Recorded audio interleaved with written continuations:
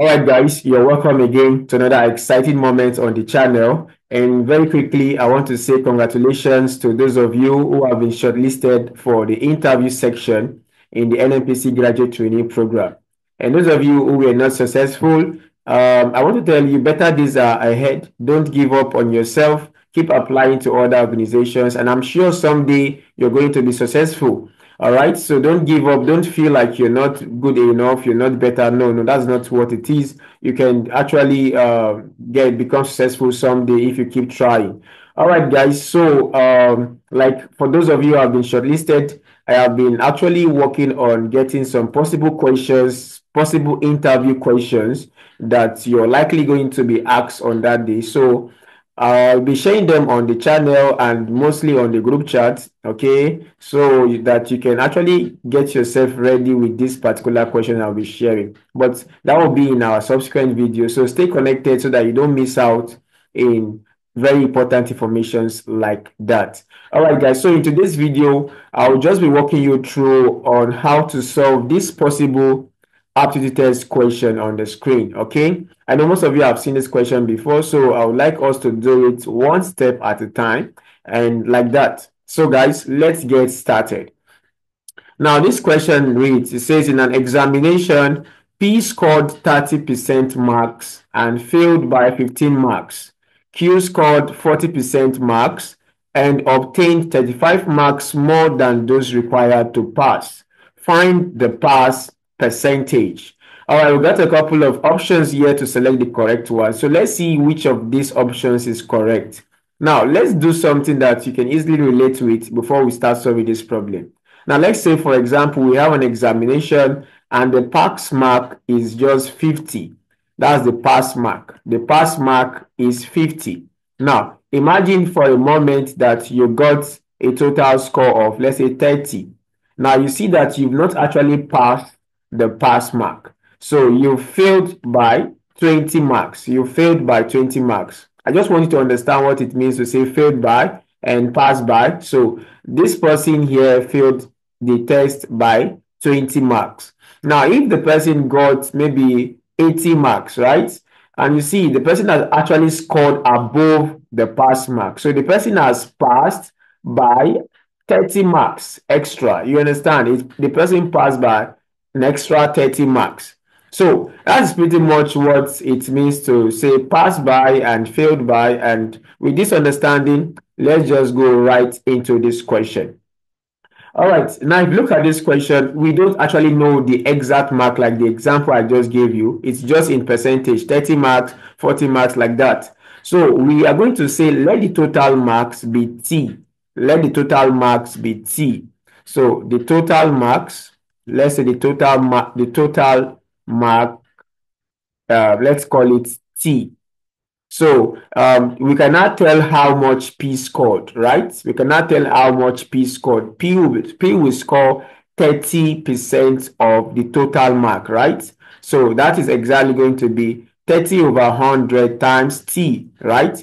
And that is just going to be 30 over 100. Of course, that is 30 over 100 times t. That will give us the mark that P scored, right? And let's say that is 30 over 100 is just 0 0.3 t, 0 0.3 t, right? That is the mark he scored.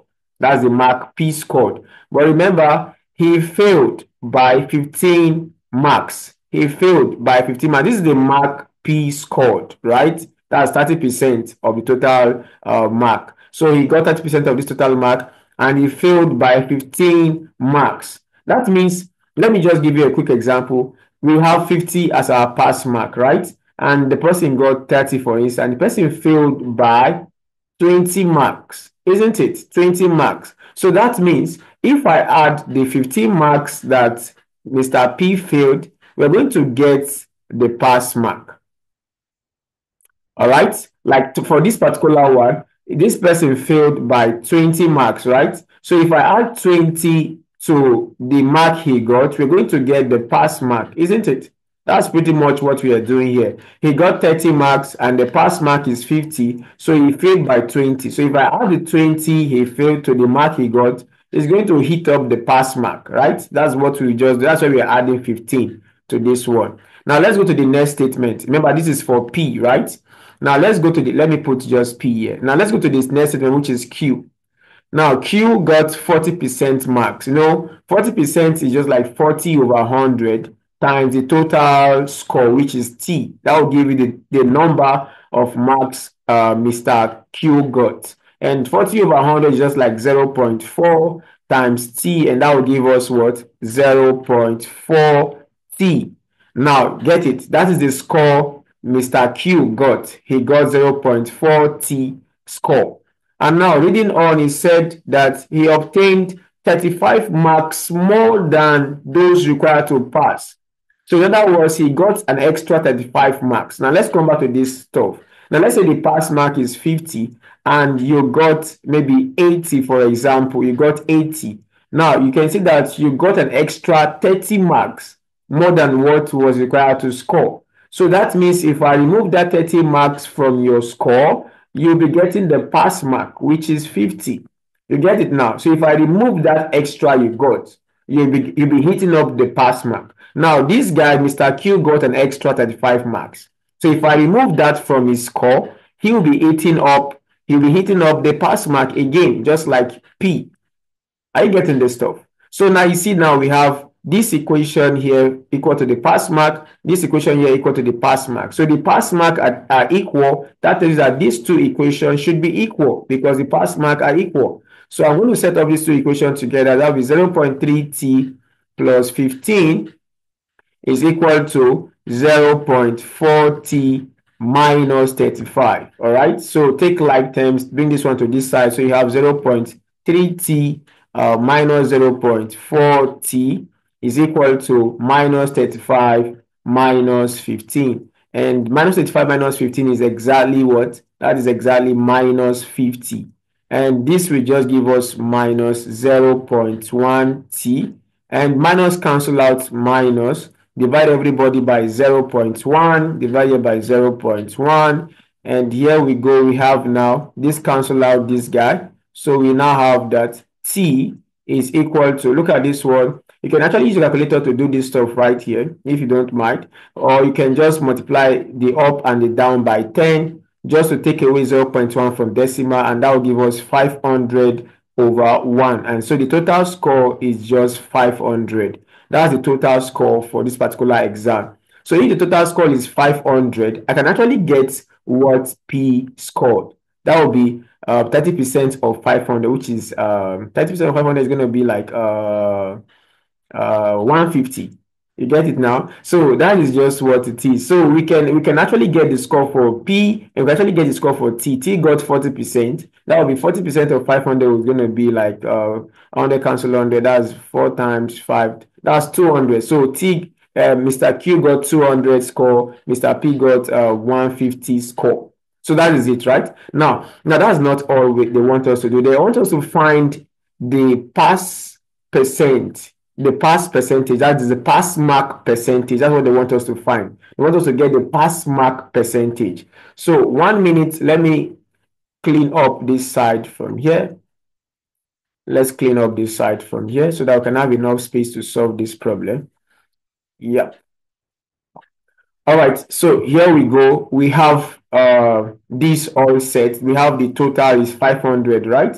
Now, what would be the pass mark? Because we want to get the pass mark percentage. So let's quickly get the pass mark. Of course, the pass mark, you can take any of this equation to get the pass mark. Any of this equation here, any of this one will give you the pass mark. Let's take equation one. So we have that the pass mark uh, is going to be uh, 0.3t plus 15. That will give us the pass mark.